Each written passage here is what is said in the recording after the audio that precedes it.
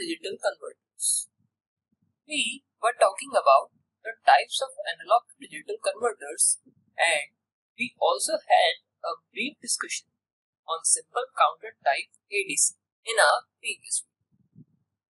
In this video, we'll talk about tracker type analog to digital converters and also discuss their construction and working. But first, let us see why we switched to tracker type from the simple counter type analog to digital converters. In the previous video, we saw the counter type used a up counter, which counts up to the signal and resets to get the sample. But due to the time taken to reach the input signal. Again and again and again, it loses a lot of information in a wave, and hence the signal estimated is faulty. We also saw the error can be minimized by oversampling, but there are some limitations to how much sampling frequency we can produce. Now, moving to the construction of tracking type ADC. For the construction of this ADC, some small modifications can be made itself in the simple counter type ADC. Let us see how you can convert a simple counter type to a tracking type ADC. Here is the block diagram of a simple counter type ADC. When we assume a wave, we see its next value is slightly higher or less than the previously sampled value. If the counter reaches the wave, it has to be stopped there instead of resetting it to zero and must be allowed to increase or decrease the value according to the next sample value. This up and down counting can be achieved by up-down counter instead of a normal counter. So we changed a normal counter to the up-down counter. With this change, the need of clear command and a need to store at a specific time is long gone and hence control unit is kicked out of the tracker type ADC. Now, a up-down counter needs two types of input. One is clock and the other is a signal to count up and down. When we closely observe the output of op-amp they were one when the input voltage was higher and zero when it was lower.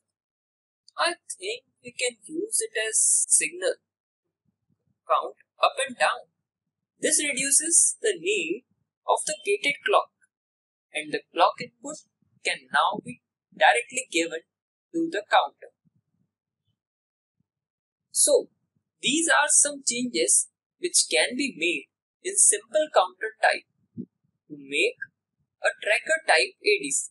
The functions and requirement of the other components is same as that in the simple counter ADC.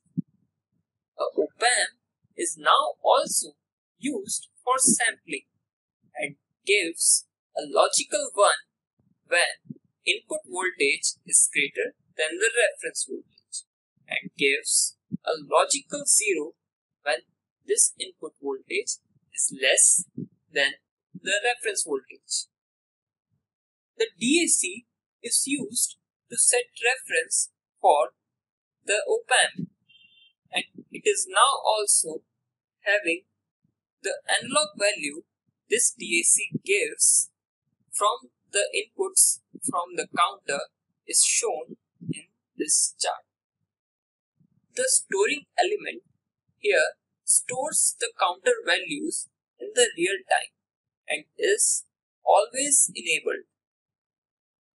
Now, the working of tracker type ADC seems quite simple as we have the lesser components than before.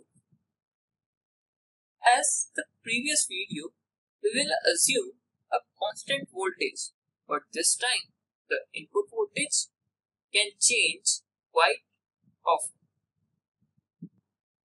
The output of the DAC will be shown in the right corner of your screen. Before we start, remember, up-down counter or any counter counts the number of clock pulses and the extra arrangement allows it to predict the voltage. It can be correct or has some fault. So, let's say we have an input voltage of 5 volts and the counter is initially at 0. The output of DAC will also be 0 at this moment. The op-amp gives a logical 1 as output as we can see the input voltage is way higher than the reference value. The logical 1 output from the op-amp tells a counter count up by 1 unit. As the counter change, the output of DAC also changes. Now it equals to 1 volt. Again, 5 volt is greater than 1. Op-amp has a logical 1 output and count increases by 1. The same continues till the output of DAC is 5 volts.